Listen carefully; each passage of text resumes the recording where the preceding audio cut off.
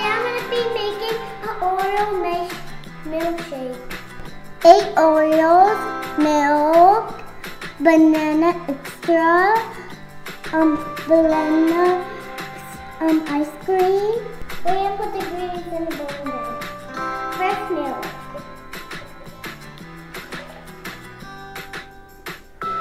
And then Oreo.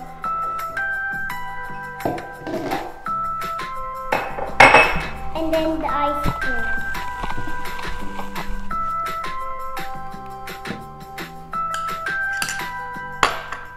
And then we're gonna put the banana extra in the blender.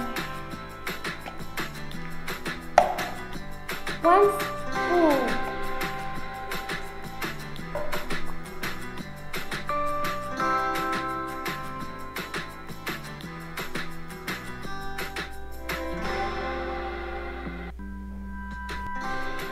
Ask for a grown-up help to turn the blender on. My Oreo milkshake is ready. Let's pour it in glass.